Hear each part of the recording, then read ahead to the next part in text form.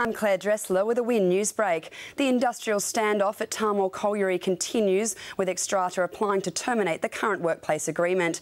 Transport Minister David Campbell launches another road safety initiative, and Dragons under 20s young gun Kyle Stanley looks to impress at the Charity Shield. Details tonight.